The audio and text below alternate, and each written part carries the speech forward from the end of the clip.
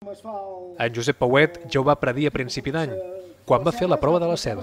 Eh, Tot el mes de juliol no, no ha de ploure, jo crec que fins al 15 d'agost s'arribarà, tindrem molta calor, però a partir de, de, de l'agost ja tindrem pluges fins al final d'any, eh, que caurà més de 100 litres cada mes de, de pluja.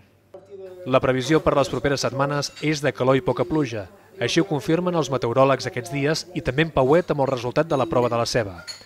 En plena onada de calor, aquests dies revisa exhaustivament les dades que recull a l'estació meteorològica i les compara amb la prova artesanal que practica des de fa just 30 anys. Durant tres dècades, en Pauet ha fet la prova de la ceba sense interrupció. Amb més o menys encert, cada any ha ajustat els litres de precipitació i els mesos més secs.